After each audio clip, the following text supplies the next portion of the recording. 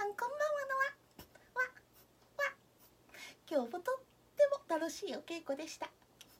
子供たちは集中力も途切れがちですが喜ぶことをやってみるとまた笑顔で帰ってくれます。少しずつ練習を楽しむ気持ちで鍵盤に触れることがピアノ上達の近道でもあります。ギロックより妖精のいたずら。いたずら大好き。ハヒフヘホ。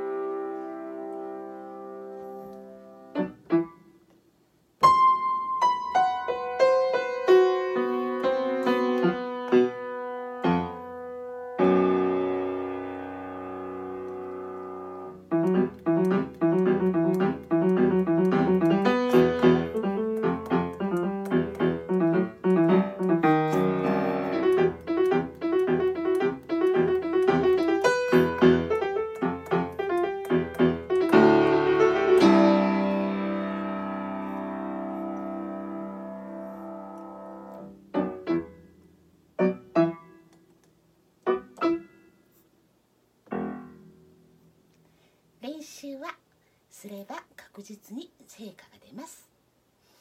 昨日もとっても楽しいレッスンでしたが教室の備品や物人は大切に扱うようにしましょうね。